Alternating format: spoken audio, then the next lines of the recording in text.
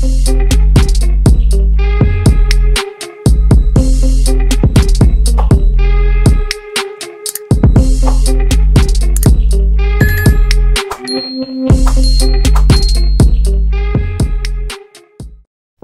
សរសេរមិ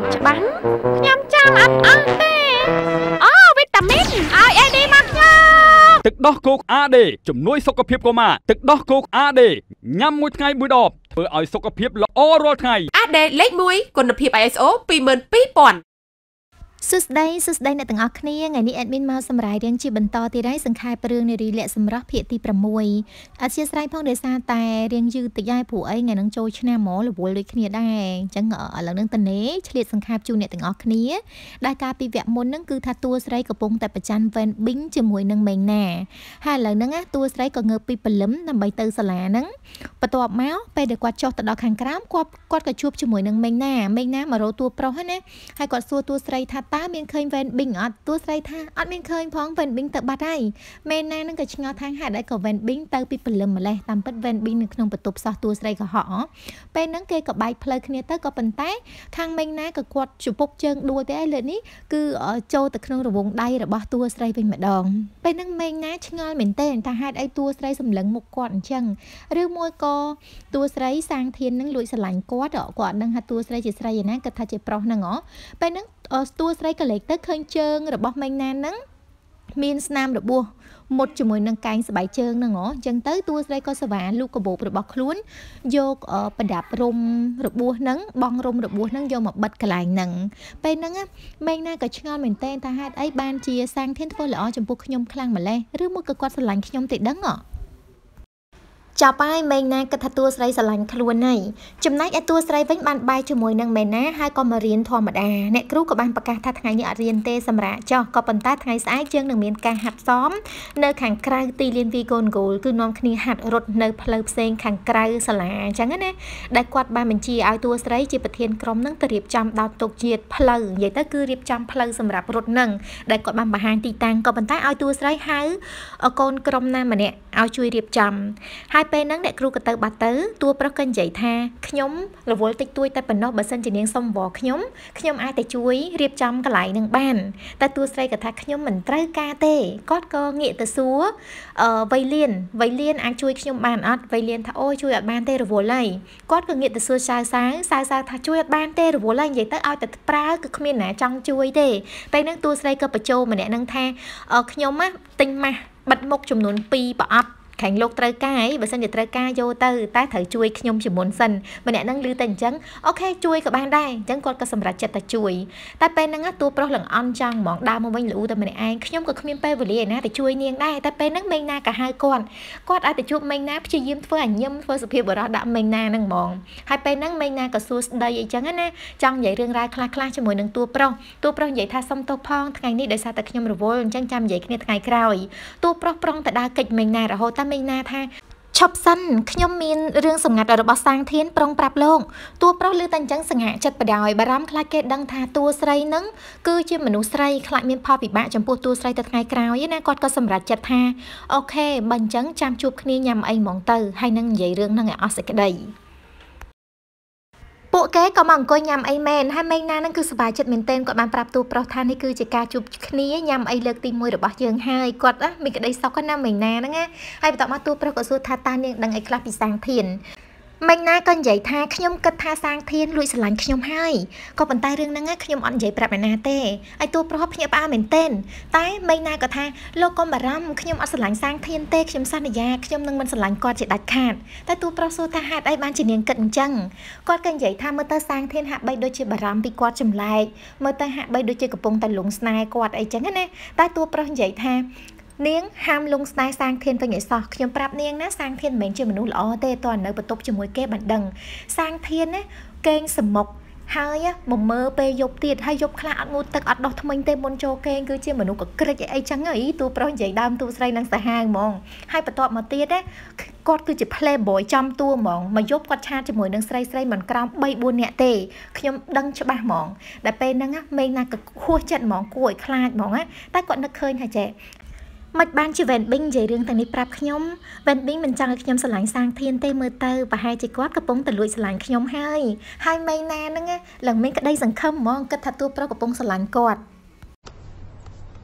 ថ្ងៃនេះតួស្រីចាប់ផ្ដើមធ្វើតាមបណ្ដាំអ្នកគ្រូគឺមកដល់តុងរៀបចំកន្លែងដែលត្រូវរត់ហាត់អីចឹងណាតែគាត់ទេហៅសៅសៅសៅសៅមិនទាន់ទទួលផងតួប្រុសក៏មកដល់តួស្រីក៏សួរថាម៉េចក៏លោកមកទីនេះតួប្រុសក៏ថាសៅសៅរវល់នៅមន្ទីរពេទ្យដូច្នេះគាត់ឲ្យខ្ញុំមកជំនួសគាត់ ពេលហ្នឹងតួស្រីធ្វើរឹកធំទៀតគាត់ដូចមិនចង់ឲ្យតួប្រុសជួយគាត់ទេមុខឡើងកំមើតែតួប្រុសក៏ថាឯងគួរតែឲ្យខ្ញុំជួយឯងហើយព្រោះឯងផ្លូវនៅឆ្ងាយណាស់ទ្រាំតែដោតទុំនឹងហើយគឺយប់ល្មមអញ្ចឹងទៅតួស្រីក៏សម្រេចចិត្តឲ្យតួប្រុសអឺជួយដោតទុំនឹងទាំងមុខកញើយកទុំយកអីនឹងឲ្យតួតួប្រុសតែនៅខាងក្រោយខ្នងនឹងដូចសើចដូចញញឹមតែម្នាក់ឯងនៅពេលដែលពួកគេកំពុងតែដោតទុំនឹងក៏ស្រាប់តែមេងណាមកដល់ មិញណាដើមអក្សរប្រាប់តួប្រុសថាចាំមើលណាលោកឲ្យខ្ញុំធ្វើតេស្តសង្កេតសាំងធានមែនចាំមើលខ្ញុំធ្វើតេស្តឲ្យមើលបន្ទាប់មក តួស្រីឃើញពាក្យនឹងខ្សឹបគ្នាអញ្ចឹងគិតថាគេមានរឿងសម្ងាត់ចង់និយាយគ្នាតួស្រីក៏ថាអ្នកទាំងពីរនិយាយគ្នាចាស់ខ្ញុំដើរទៅមុខទៅរៀបចំនៅខាងមុខវិញតែពេលហ្នឹងមេងណាក៏ថាមិនបាច់ទេសាងធានខ្ញុំមកនេះគឺដើម្បីអរគុណលោកកាលពីព្រឹកមិញដែលជួយបិទរុំរបួសឲ្យអញ្ចឹងណាតួស្រីក៏និយាយថាមិនអីទេមិនមែនជារឿងធំដុំមិនទេ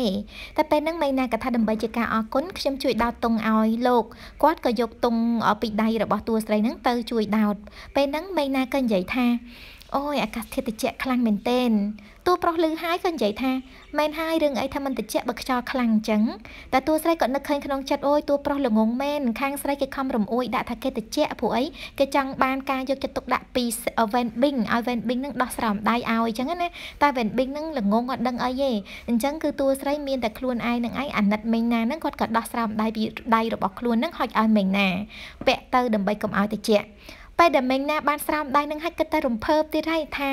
អឺតួស្រីនឹងស្រឡាញ់គាត់ពិតមែនគាត់ក៏ទៅខ្សឹបប្រាប់តួប្រុសទៀតហើយក៏ថាឃើញអត់គេស្រឡាញ់ខ្ញុំមែននឹងឯងគេយកចិត្តទុកដាក់ចំពោះខ្ញុំណាពេលហ្នឹងតួប្រុសអត់តបអីទេគាត់ដេញមេងណាឲ្យទៅវិញកិច្ចពីថ្នាក់រៀនមកមិនមែនថ្ងៃហ្នឹងមេងណាសួរថាហេតុអីបណ្ដឹងតែពេលហ្នឹងក៏មានមិត្តភ័ក្តិរបស់គាត់ខលមកហៅគាត់ឲ្យទៅវិញពួកអីនៅសាលាគ្រូរោអញ្ចឹងណាមេងណាហ្នឹងក៏បញ្ញាប់ត្រឡប់ទៅវិញនៅចុងក្រោយនៅសល់តែតួប្រុសនិងតួស្រីដដែល តួស្រីឈោមមើលមេងណាដើរចេញទៅតាមពិតក្នុងចិត្តរបស់គាត់ស្ដាយស្រោមដៃគាត់បានអីពាក់បើតិចមឹងមឹងហ៎ពេលហ្នឹងតួប្រុសក៏គាត់ចាប់ដៃតួស្រីមកតួស្រីភ័យហើយភ័យស្មាតួប្រុសចាប់ធ្វើអីតួប្រុសដោះស្រោមដៃរបស់គាត់មកចំហៀងហ្នឹងពាក់ឲ្យតួស្រីបើសរសេរមិនច្បាស់ខ្ញុំចាំអត់អស់ទេអូវីតាមីនឲ្យអេឌីមកខ្ញុំទឹកដោះគោក AD ជំនួយសុខភាពកុមារទឹកដោះគោក AD ញ៉ាំមួយថ្ងៃមួយដប ធ្វើឲ្យសុខភាពល្អរាល់ថ្ងៃ AD លេខ1គុណភាព ISO 22000តួស្រីរបស់យើងសម្លឹងមើលតួប្រុសតែរំភើបគាត់គិតថាសាងធានហេតុអីក៏ឯងរំភើបខ្លាំងម្លេះឬក៏ឯងស្រឡាញ់គេហើយពេលហ្នឹងតួប្រុសក៏ពាក់ឲ្យហើយហើយតួស្រីក៏និយាយថាអរគុណគាត់ហុចដៃរបស់គាត់មួយចំហៀងទៀតទាពាក់មួយចំហៀងទៀតណាតួប្រុសក៏វាយដៃតួស្រីប្រាប់ថាកុំលោភលន់ពេកតោះបញ្ញាប់ទៅដោតតុងបន្តទៀត ខកបំណងអស់អាលីងតួស្រីក៏ប៉ុន្តែយ៉ាងណាក៏ដោយគាត់នៅតែញញឹមម្នាក់ឯងមានក្តីសុខណាហើយគាត់ក៏និយាយប្រាប់ខ្លួនឯងថាខ្ញុំមិនបានស្រឡាញ់វេនប៊ីងទេគាត់ក៏នាំគ្នាទៅដោតតុងជាបន្តទៀតចំណែកឯមេងណាបញ្ញាប់រត់មកកាន់ថ្នាក់រៀនរបស់គាត់វិញក៏ស្រាប់តែបុកគ្នាជាមួយនឹងប្អូនរបស់តួស្រីទៀតដែរតែពេលហ្នឹងណា រឺតអាវរបស់ខាងស្រីនឹងក៏បានឆោតជាមួយនឹងអាវខាងប្រុសធ្វើឲ្យលហែកឃ្លាតគោសំឡីពេញនឹងចាំម្នាក់ម្នាក់ពាក់អាអាវល្ងាខែទៅជាអរឿងហ្នឹងបើមិនបានដួលលើគ្នាទេមិនហៅថារឿងហ្នឹងហ្មងពីរអ្នកហ្នឹងក៏តាំងប្រកែកគ្នាទៀតហើយប្អូនតួស្រីហ្នឹងគាត់លហែកអាវអញ្ចឹងគាត់ទាឲ្យមេណាហ្នឹងសងអាវគាត់វិញមកទាសំណងឲ្យទៅជួបគ្នាទាលុយគ្នារហូតតែមេណាប្រកែកជាមួយនឹងប្អូនតួស្រីចុះឡើងចុះឡើងគាត់បញ្ញាប់ទៅថ្នាក់អគាត់ថាផ្ញើទុកសិនចុះគាត់ក៏រត់ទៅថ្នាក់បាត់ទៅ យប់ឡើងតួស្រីក៏អង្គុយគិតថាស្អែកអ្នកគ្រូឲ្យហាត់នៅខាងក្រៅណារត់10គីឡូទៅមកអញ្ចឹងសរុបទៅវា20គីឡូហើយគាត់ជាស្រីមានកម្លាំងឯណារត់ដល់ថ្នាក់នឹងគាត់ខកសួរមិត្តជិតស្និទ្ធរបស់គាត់ហើយមិត្តជិតស្និទ្ធរបស់គាត់ក៏ផ្ដល់យោបល់ថាឲ្យឈិតទៅលក្ខណៈថាប្រើល្បិចខ្លះខ្លះទៅព្រោះអីយើងជាស្រីយើងមានកម្លាំងឯណារត់ដល់ដូចគេប្រុសប្រុសរត់10គីឡូទៅមកអញ្ចឹងនោះបន្ទាប់មកគេក៏កាត់ស្លេះត្រឹមប៉ុណ្ណឹងស្អែកភ្លឺឡើងតួស្រីក៏ដើរចេញដើម្បីទៅថ្នាក់រៀនខ្លួនឯងបន្តទៀតតែពេលហ្នឹងក៏បានជួបជាមួយមេងណាស្វាគមន៍គ្នារុះរីរតៈតែពេលហ្នឹងមេងណាក៏បានជូនស្រោមដៃទៅតួស្រីវិញហើយនិយាយប្រាប់ថាប្រាប់តួស្រីថាសុំទោសផង សាងធានខ្ញុំដឹងថាលោកស្រឡាញ់ខ្ញុំក៏ប៉ុន្តែខ្ញុំអត់ស្រឡាញ់លោកទេតួស្រីលើពាក្យហ្នឹងឲ្យភ្ញាក់ផ្អើលម៉ាក់ខ្លាំងមែនទែនខាងមេងណាក៏គាត់និយាយថា ខ្ញុំដឹងថាខ្ញុំនិយាយពាក្យហ្នឹងហើយលោកមិនសប្បាយចិត្តតែប្រកាសណាស់ខ្ញុំមិនស្រឡាញ់លោកទេលោកអាចរើសអ្នករីផ្សេងដែលល្អខ្ញុំគិតថាមនុស្សល្អដូចលោកនឹងបានជួបជាមួយនឹងមនុស្សស្រីល្អផ្សេងក្រៅពីខ្ញុំក៏ប៉ុន្តែបើសិនជាលោកមិនមានទេចាំខ្ញុំណែនាំឲ្យក៏បានដែរទោះស្រីក៏ថាអូមិនបាច់ទេមិនបាច់ទេមិនបាច់ណែនាំអីទាំងអស់ព្រោះអីខ្ញុំមានមនុស្សស្រីដែលខ្ញុំស្រឡាញ់ហើយមិនណាសួរថាអ្នកណាគេហើយទោះស្រីក៏ថាអ្នកនាងមិនស្គាល់ទេអ្នកនាងមិនស្គាល់ទេមិនណាភ្ញាក់ផ្អើលមែនទេព្រោះអីគិតថាសាងធានស្រឡាញ់គាត់ហ៎តែពេលហ្នឹងតួប្រុសក៏ស្ដាប់ឮហើយក៏ចូលមកកាត់ថាអ្នកទាំងពីរនិយាយអីហ្នឹងតួស្រីក្រឃើញតួប្រុសភ្លាមក៏ស្រែកប្រាប់តួប្រុសថាឲ្យលឿនឡើងនៅសាលាចាប់ផ្ដើមថ្នាក់រៀនហើយយើងប្រញាប់ទៅលឿនទៅក៏អូសតួប្រុសទៅបាត់ទៀតទៅ មកដល់កន្លែងទីលានវឹកហាត់ហ្នឹងអ្នកគ្រូក៏បានបាញ់កំភ្លើងប្រាប់អ្នកទាំងអស់គ្នាថាចាប់ផ្ដើមអញ្ចឹងគ្រប់គ្រប់គ្នាក៏ចាប់ផ្ដើមរត់ទៅទាំងអស់គ្នាតួប្រុសនិងតួស្រីយើងក៏រត់ទៅដូចគ្នាដែរក៏ប៉ុន្តែតួស្រីរត់អត់លឿនទេរត់យឺតយឺតចាំរត់ក្រោយគេហ៎ហើយដល់ពេលហ្នឹងតួប្រុសក៏ចាំតួស្រីក៏ខ្លាចតួស្រីមានបញ្ហាតែតួស្រីក៏ថាំងអត់អីទេរត់ទៅមុនទៅគាត់ឈឺពោះទោះបីជាតួប្រុសមិនព្រមទៅក៏តួស្រីនៅតែដេញទៅទៅទៅទៅគាត់ឈឺពោះគាត់ឈឺពោះអញ្ចឹងរត់អត់ទាន់គេទេឲ្យរត់ទៅមុនទៅគាត់ត្រូវការចូលបន្ទោបងអីចឹងណាពេលហ្នឹងតួប្រុសក៏រត់ទៅ មានឯណាតួស្រីរបស់យើងហ្នឹងគឺដើរមកផ្លូវកាត់ហើយមកអង្គុយចាំគេខ្ញុំមិនល្ងងទេតែពេលគេរត់មកដល់ចាំខ្ញុំចូលទៅកន្លែងហ្នឹងជាមួយគេដែរពេលហ្នឹងក៏ស្រាប់តែតួប្រុសមកដល់តួស្រីភ្ញាក់ផ្អើលមែនទែនសួរថាលោកទៅណាដែរតួប្រុសក៏និយាយថាខ្ញុំក៏ឈឺពោះដែរតួស្រីឮតែអញ្ចឹងប្រងនឹងរត់ទៅណារត់កិច្ចពេលហ្នឹងតួប្រុសក៏ចាប់ទាញអាវមកវិញអញ្ចឹងទៅណាឥឡូវហ្នឹងយើងជីកទូកមួយជាមួយគ្នាហើយអញ្ចឹងធ្វើទៅតាមអ្វីដែលឯងគិតចោះអញ្ចឹងតួប្រុសចូលដៃចូលជើងជាមួយតួស្រីដែរនាំគ្នាបោកអ្នកគ្រូតួស្រីសប្បាយចិត្តមែនទែនអស់ភ័យតែប៉ុណ្ណេះតួប្រុសចូលដៃចូលជើងជាមួយដែរតែមានសម្លេងគេដើរមកតួស្រីក៏សប្បាយប្រាប់តួប្រុសថាពួនពួនមានគេដើរមកយកគេឃើញក៏ប៉ុន្តែតួប្រុសហាខូចមែនទែនគាត់ទៅពួនដែលយកមុខរបស់គាត់ដាក់គៀកគ្នាជាមួយនឹងតួស្រីអើយមើលទៅឡើងស្វីតហ្មង តួប្រុសសួរថាឯងប្រាប់មេណាថាឯងមានមនុស្សដែលឯងស្រឡាញ់ហើយមែនអត់តួស្រីក៏និយាយថាជារឿងរបស់ខ្ញុំកុំចេះអូឬមួយក៏ជាលោកដែលប្រាប់មេណាថាខ្ញុំស្រឡាញ់នាងតួប្រុសក៏និយាយថាមិនមែនខ្ញុំទេគឺជាឯងនឹងហើយដែលទៅចាយចង់នាងខ្លួនឯងនោះតួស្រីឮតែអញ្ចឹងប្រងលើកដៃវាយតួប្រុសតែតួប្រុសចាប់ជាប់ហើយនឹងអោនទៅចិត្តចិត្តតួស្រីដូចចង់ថាបតួស្រីអញ្ចឹងណាតែតួប្រុសក៏និយាយថាស្ងាត់ស្ងាត់មានគេមកហើយតោះយើងប្រញាប់ទៅក៏រត់ទៅបាត់ទៅតួស្រីណែភ័យបេះដូងនឹងដុកតាក់ដុកតាក់ហើយចាប់ផ្ដើមរត់ចូលជួជាមួយគេដែលធ្វើដូចអត់មានរឿងអីកើតឡើងសោះណារត់រត់ត្រឹកត្រឹកទៅក៏តាមតនគេទៅម្នាក់សើសើក៏សួរថាអ្នកទាំងពីរទៅមកពីណាអាយតួប្រុសនិងតួស្រីឆ្លើយថាខ្ញុំមានទៅណារត់នៅតែពីក្រោយឯងរហូតហ្នឹងម្នាក់នឹងថាចុះមិនគេខ្ញុំអត់ដឹងអូមកពីឯងអត់បានចាប់អារម្មណ៍ពួកគេក៏រត់បន្តទៅទៀត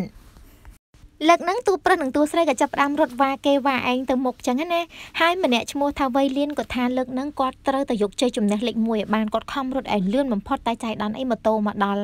ក៏ប៉ះជាមួយនឹងម៉ូតូនឹងវីវធ្វើគាត់របួសជើងសោះសោះគ្រប់គ្នាសើឈប់មើលទាំងអស់គ្នាក៏ប៉ុន្តែវៃលៀនក៏ថាគឺជាការប្រកួតរៀងខ្លួនដូច្នេះអ្នកទាំងអស់គ្នាមិនបាច់ចាំខ្ញុំទេឆាប់រត់ទៅឲ្យដល់ទីមុនមុនគេទៅយកជោគជ័យរៀងរៀងខ្លួនទៅកុំបារម្ភពីគាត់អីចឹងណាទោះបីជាតួស្រីហើយនិងតួប្រុសនឹងព្យាយាមជួយយ៉ាងណាក៏ដោយក៏វៃលៀននឹងប្រាប់ថាឲ្យទៅមុនទៅតួប្រុសគាត់និយាយថាវៃលៀននិយាយត្រូវសំខាន់គឺអ្នកគ្រូថាឲ្យទៅដល់ឲ្យបានលឿនហើយអ្នកណាដែលទៅក្រោយគេគឺអាចនឹងមានរឿងអញ្ចឹងអញ្ចឹងយើងធ្វើប្រញាប់ទៅទៅដើម្បីកុំឲ្យមានរឿងទាំងអស់គ្នា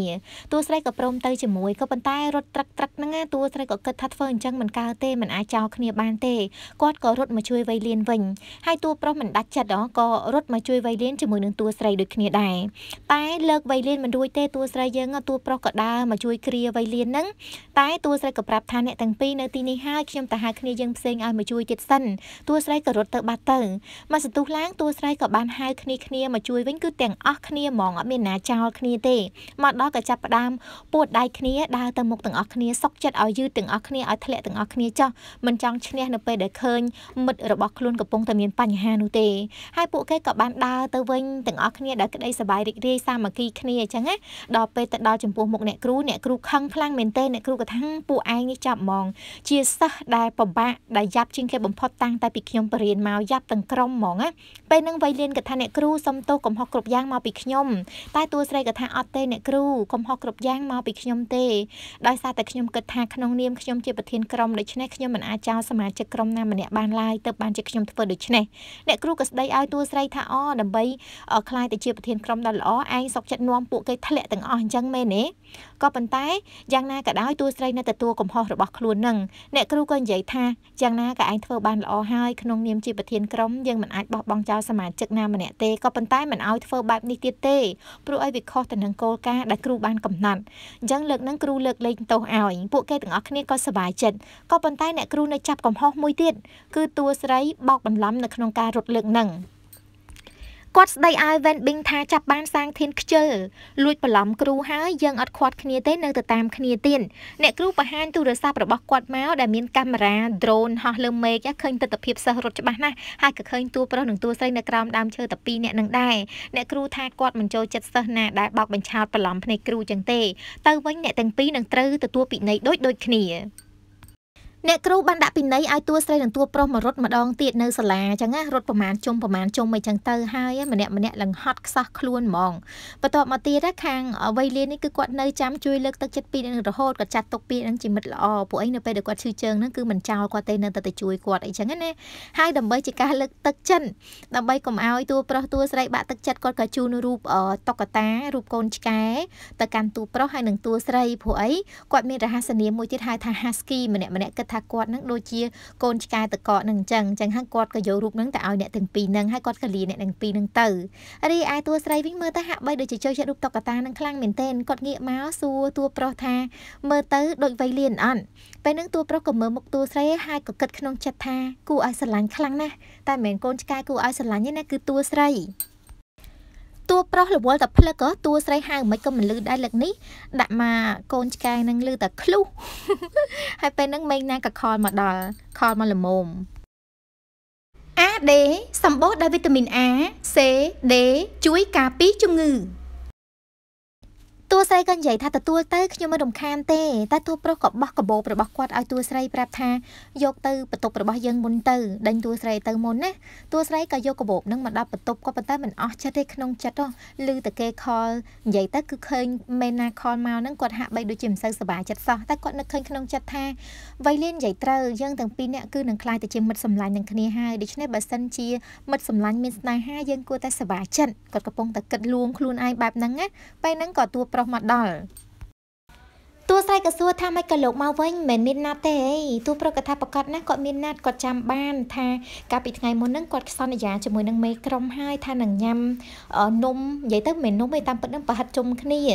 ឡូវហ្នឹងគាត់ទិញមកហើយតួស្រីសួរថាអូនៅចាំបានទៀតមែនតួប្រុសក៏ថាប្រកាសណាថ្ងៃដែលយើងញ៉ាំប៊ូហ្វេជាមួយមិត្តភ័ក្តិជុំគ្នាខ្ញុំក៏ចាំបានដែរថ្ងៃហ្នឹងខ្ញុំចេញពីកន្លែងញ៉ាំប៊ូហ្វេថាទៅទិញប្រហិតហ្នឹងតើក៏ប៉ុន្តែទៅដល់គេលក់អស់បាត់ទៅហើយអញ្ចឹងទៅក៏អត់មានអីទិញទេតែថ្ងៃហ្នឹងបានទិញខ្ញុំមកញ៉ាំជាមួយគ្នាហើយតួស្រីសប្បាយចិត្តខ្លាំងមែនទែនហើយក៏យកញ៉ាំតួប្រុសហុចហើយទៀតហើយតួស្រីក៏ហៅតួប្រុសញ៉ាំជាមួយគ្នាដែរតែតួប្រុសនិយាយថាអត់ទេនៅមានរឿងចង់និយាយអាវរបស់គាត់គាត់យកមកឲ្យតួស្រីមើលឃើញតួស្រីប៉ាក់ នៅលើអាវហ្នឹងតួស្រីប្រកែកថាគាត់អត់ដឹងរឿងទេដល់ពេលតួប្រុសថាឲ្យឌឺដងផ្លែផ្កាចុះឡើងចុះឡើងទៅបញ្ចេញថាតួស្រីហ្នឹងជាអ្នកប៉ាក់រូបហ្នឹងហើយតួស្រីក៏សួរថាមានខឹងខ្ញុំអត់ដែលខ្ញុំប៉ាក់រូបលើអាវលោកអញ្ចឹងតួប្រុសថាអត់ខឹងទេហើយពួកគេក៏ញ៉ាំប្រហិតជាមួយគ្នាយ៉ាងសប្បាយរីករាយ